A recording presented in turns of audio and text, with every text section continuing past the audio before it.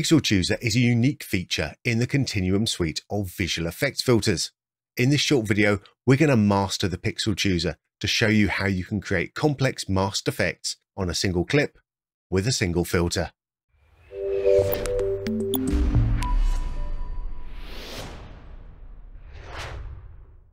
Okay, we're going to be working in Premiere Pro for this, but these same techniques work wherever you're using your Continuum filters. The idea behind the pixel chooser is to be able to limit where an effect is being applied without having to do any sort of complex layering. Everything is contained within the effect itself. And pixel chooser can be found in pretty much every single effect. And I'm just going to type in BCC into my effects. And we can see I have the full range of continuum effects here. You'll notice that some of the effects have the prefix BCC plus, and some have BCC. And there's a small difference in the Pixel Chooser interface between BCC Plus and BCC. And we're going to be focusing on the BCC Plus Pixel Chooser, but the concepts are going to be the same between both of them. And with that being said, let's find our first effect. So let's type in BC plus Prism and bring that onto our footage. And at smaller values, we can use Prism to give us this nice chromatic aberration effect but I'm going to make this a lot bigger. So I'm going to change my offset start position and just bring that over to the side on one direction. And I'll bring that back on the offset end as well. And maybe get it looking around about there. So we've got a huge amount of separation happening. Now also in Prism we have apply mode so we can apply these in a different sort of way. So we'd lighten, darken, you've got your screens and your multiplies. I really want to, to make this rather extreme. So I'm going to go somewhere into a, a hard light maybe. And looking at it now, the colors are probably a little bit too pronounced. So I can come back with my prism width and just reduce that a little bit there. Okay, so if I play that back, it's definitely a very pronounced effect, but obviously now we can't see the, the subject at all. So it kind of looks like it's ruined the image a little bit. But this is where Pixel Chooser comes in. So let's open up the Pixel Chooser, scroll down a little bit, and in the drop down, I'm just going to turn this on. And now we have three other options available to us. We have mask, gradient, and matte. And these are going to be the different ways of limiting out our effect. I'm going to start with mask. And under the shape drop down, I can choose what sort of shape I want to use, including primitives here and a Mocha spline. We'll get into that a bit later. So I'm going to just start with a simple ellipse. And now we're getting ellipse over our viewer and only the stuff within that ellipse is going to be affected by our prism. It's sort of the opposite of what we want. So I'm going to click on invert mask. And it's at this point where I can feather things up. So we get a nice soft transition. I can also change things like rotation. Take that to 90 degrees. There we go and even change the mask center and the mask scaling. Now, sometimes you want to be able to do this interactively. And if we have the effect selected, we'll have some on-screen controls that allow us to do just that. So if I move my mask center just a little bit, you can see this is the widget that is going to control my mask center. So if I move that around, we can interactively change where that goes. And I'll just position this so that's just over her head. So Pixel Chooser is creating a mask on our effect. And if I want to see that mask, I can come up to my view matte mask up here and we can see the black and white outline of what it's doing. So white meaning the effect is applied 100%, black meaning it's applied zero, and grey means it's being applied more or less depending on how bright that grey is. And once we've got the pixel chooser shape in place, we can make any other changes we need to to our clip. So I can animate this up. I'll come in, I'll take my global transformation down to zero, add a keyframe on that, come close to the end somewhere. And so now we've got this big effect, but we've preserved the important part, which is the person in the uh, in the middle there. Let's come to our second clip here. And on this clip, I want to enhance the sky a little bit. You can see the sky is looking rather weak and, and blown out. I just want to add a little bit more color to it. I'm going to head over to my grads and tints category and I'm going to use a simple continuum color gradient. And if we look over at the effect controls again, I can just simply change up my color here um, just by using the color picker. Let's just change the hue to a cyan that fits you know quite well in the uh, in the background there.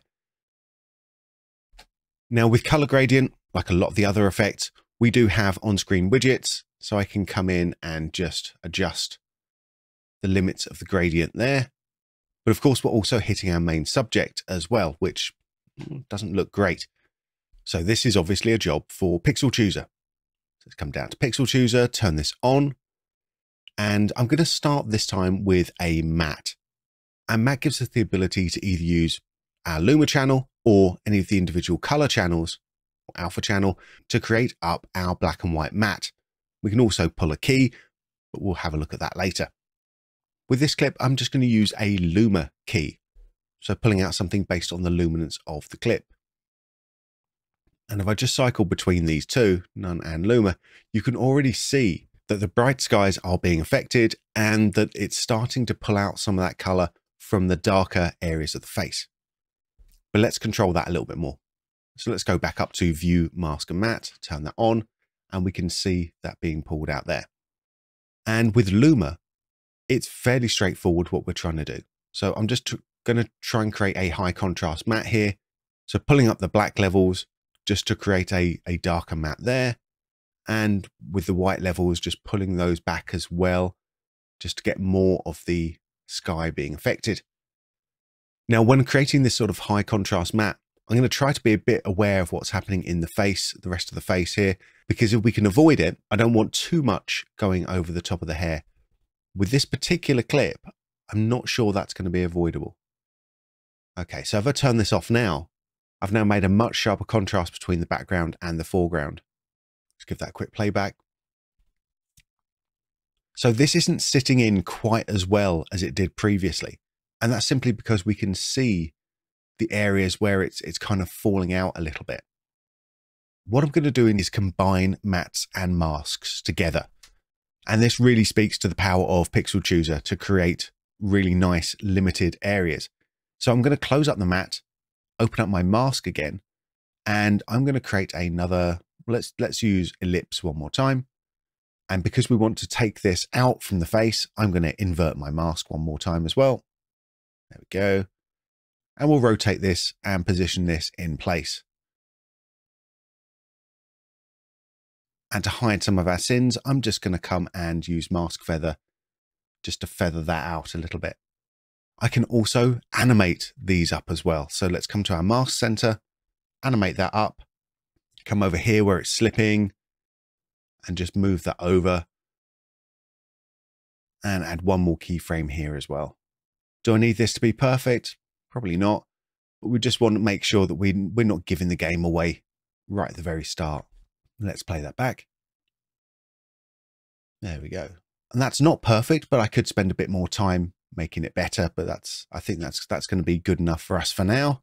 So that's mask and matte. So masks are created using shapes and mattes are created using some element of the original clip, whether it's the, the luminance values or some other color values that are found in the clip. That's, that's where we're pulling the mattes from. And we also have gradient as well, which we can look at really quickly. And with gradient type, we have three. We have a circular gradient, a linear gradient, or a strip gradient. And I'm going to turn on view matte mask on this so we can see this a bit easier. Um, I'm going to use a simple linear gradient here. And you may ask, why am I using a gradient at all? As I already have a gradient created by the, the color gradient itself. Well, with this sort of effect, I actually quite like what the, the gradient does here in creating a more sort of natural fall off. So what we're doing is we're getting the original gradient going down, and then we're sort of building on top of that with our pixel chooser. And there's our final pixel chooser result. So before, after, before, and after. And let's come over to our final clip here. And with this clip, what I want to do is change the color of our shirt. And this sort of task is really easy with Pixel Chooser. So I'm doing color correction. So let's come into our color and tone effects. And I'm going to use BCC Plus Grade. Now, whenever we're doing a sort of proof of concept of this, I like to work fast. So the initial effect that I create is going to be quite big and strong, and then we can tweak that afterwards. So I'm going to come into the hue slider and I'm just going to slide this round until we find a, well, let's, let's make this shirt blue, shall we? Now, obviously we've also corrected the rest of the image. Uh, so it looks a little bit weird, sort of like a, uh, um, like an early nineties music video. Uh, fantastic. So we're going to come into our pixel chooser, open this up and let's turn this off for a second because in this clip, I only really want to change what's happening in the red sweater. So let's turn that back on one more time, come down, and we're going to open up mattes. Here, I want to choose what colors I'm going to use, and that means I'm going to pull a key. And so turn on key, you can already see that it's doing something. Uh, and that's because we already have two key colors set up by default. So I'm going to take my key color A and I'm going to click on this and let's choose something in the sweater, somewhere around about there. And that's going to key stuff out and we can see that's done a pretty decent job, but we're missing something in the shadows over here. So with my key color B, I'm going to click on that and choose something that's in the fold there. And we end up with something that looks a little bit like this. So now's the time to tweak this up so we get this looking right. And my first port of call is going to be the softness values. So to see which of these hue, saturation and luma softness is going to help me to fill in these details, here's a little trick for you. First thing to do is to bring this all the way up to see if that actually helps out to, to fill in any of the problem areas. So my hue softness is up to 100 now, and we're still getting the, the problems of these little side areas here. So we know that that's not going to really help out us uh, too much. So I'm going to pull down hue and bring this up to the lowest value that I can get where we're still pulling the best key. And we actually end up at 25, which is where the default value was, which is kind of funny. Um, and I'm going to do the same with saturation, turn it all the way up to see if that helps. And you can see it does. It does help to fill in some of that there. And now I'm going to pull that down as much as I can just there. And finally do the same with the Luma. Pull it all the way up, see if it's going to help. And then pull it back a little bit there. So that's that's looking all right. Um, I can still see that I'm missing a little bit on the shoulders, a little bit there. So let's see if we can fix that. So I'm just going to come back up and view my matte mask just a little bit here so we can see what's what's happening. It's often easier to see what's happening at this point now using this view. And to fill in this shoulder area, I can probably just pull the clip white down just to fill in that gap just a little bit. Now, because we're keying out on red, it's also filling in some of the skin tones as well. So I can probably clip the black just a little bit there. There we go around about there. And let's see how that's looking. And play that back. That's not looking too bad. And it's funny for me to say that because we've obviously got a huge amount of stuff happening still on the uh, on the face, but I'm not worried about that because that's that stuff is bad. But I'm mainly looking at what's going on on the sweater, and that's that's looking pretty good. I might be tempted just to blur this a couple of pixels just to kind of soften out any of the, the harsh edges. So we want to do what we did last time and create a, a shape that goes over the top to limit this down even more. But this particular shape looks a bit more complicated than a kind of standard uh, ellipse or rectangle. But have no fear. Let's close up our uh, matte and open up our mask. This is where Mocha comes in. And I'm going to click on this big launch Mocha button. Now, if you're not familiar with Mocha, Mocha is a tool that allows us to do tracking and mask creation nice and simply. We have a full Mocha Essentials course uh, available, which I will uh, link in the descriptions if you want to learn more. But I'm going to use this in an amazingly straightforward way. Just three steps. So the first thing to do is to find our frame where we want to start our tracking. So probably around about here, somewhere that has a nice lot of detail, front facing, very good and I'm going to draw my shape in. And I'm going to come up to the toolbar.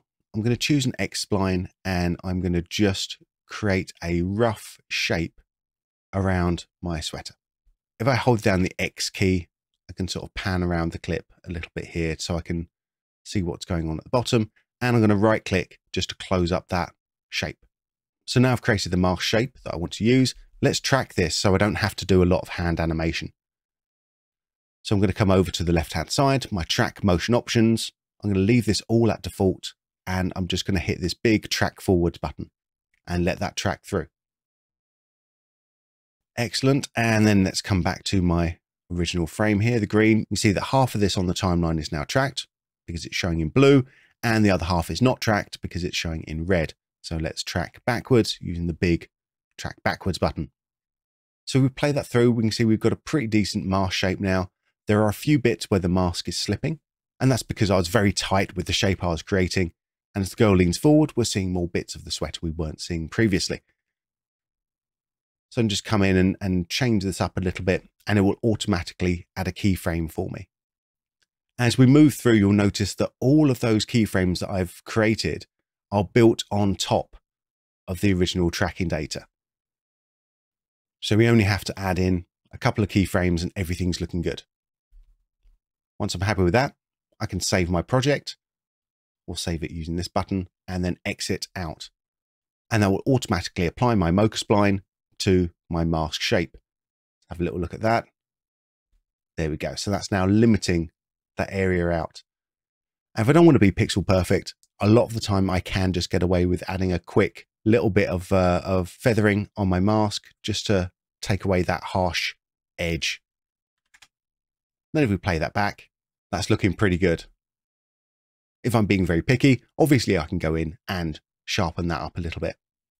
And this has been our quick look at what we can start to do with Pixel Chooser, how we can use it to limit effects to certain areas, either using simple shapes, or combination of mattes, shapes and gradients, or even pulling our own chroma keys and using Mocha to create a final effect. And because Pixel Chooser is found in most of the continuum effects, we don't have to do any sort of layering in our editing system to create complex effects with a single filter. My name is Ben Brownlee for Boris FX, and I hope to see you again soon. If you've enjoyed this look at the Pixel Chooser, then be sure to leave us a comment below. Likewise, if there's any other Continuum feature that you'd like to see us dive deeper into, then let us know below as well. To download a free trial of Continuum or any of the Boris FX filters, then please head on over to borisfx.com.